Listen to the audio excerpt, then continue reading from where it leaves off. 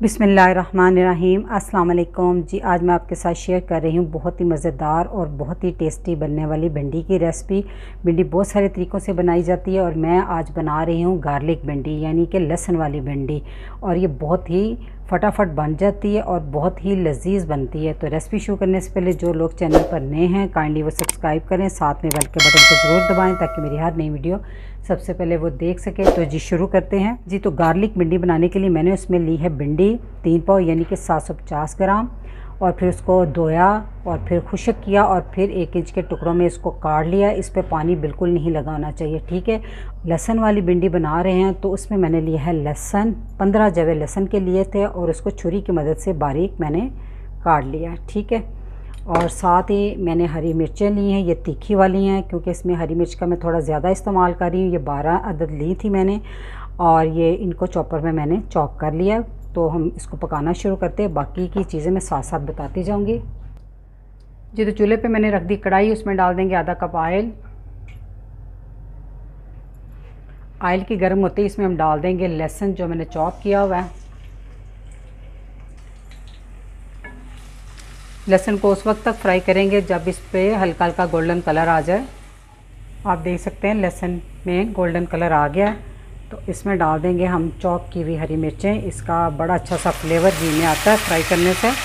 हरी मिर्चों को थोड़ा फ्राई करने के बाद इसमें डाल देंगे तीन मीडियम साइज़ की प्याज, जिनको मैंने स्लाइसिस की सूरत में काट लिया हुआ है। अब प्याज को भी उस वक्त तक फ्राई करेंगे जब तक ये थोड़ी सॉफ्ट हो जाए। प्याज को हमने कलर नहीं देना था, बस सॉफ्ट करना था तो प्याज सॉफ्ट हो गया है। तो हम इसमें डाल देंगे तीन मीडियम साइज़ के टमाटर, इनको बारीक काट लिया हुआ है छुरी की मदद से। तो अब हम इसको उस वक्त तक पकाएँगे जब तक ये थोड़े से सॉफ्ट ना हो जाए। जी तो टमाटर अच्छे से सॉफ्ट हो गए हैं। अभी इसमें थोड़ा थोड़ा ना टमाटर का पानी है, इसमें नमी है, थोड़ी सी नमी नहीं इसमें होनी चाहिए। तो इस नमी को ख़त्म करने के लिए तो इसमें हम डालेंगे कुछ मसाले।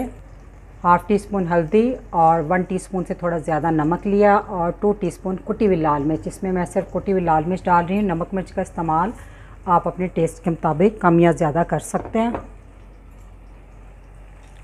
तो अब मसालों की भी इसमें बुनाई कर लें। ये बुनाई करते हुए टमाटर का पानी अच्छे से खुश्क हो जाएगा और मसालों की भी बुनाई हो जाएगी। वीडियो में पानी का इस्तेमाल बिल्कुल नहीं होता।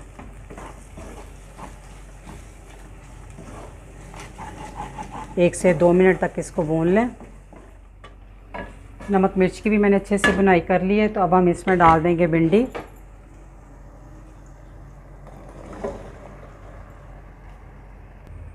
साथ ही इसमें डाल देंगे एक मीडियम साइज़ का लेमन, निचोड़ देंगे अच्छे से इसमें। अब आपने मीडियम आँच पे चार से पाँच मिनट तक इसकी बुनाई करनी है भिंडियों की। लेमन इसलिए डाला है कि भिंडियाँ जो लेस छोड़ती हैं, वो बिल्कुल नहीं छोड़ेंगी और बहुत ही ज़बरदस्त भिंडी बनकर तैयार होगी। भिंडियों को मैंने चार से पाँच मिनट तक भून लिया मसाले के साथ। तो अब आपने आँच बिल्कुल धीमी कर देनी है, यानी कि दम वाली।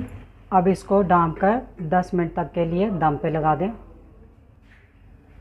10 मिनट हो गए, दम लगे हुए अब भिंडियों को हम चेक कर लेते हैं। इसको हल्के हाथों से आप हिला लें। अब हम एक भिंडी चेक कर लेते हैं।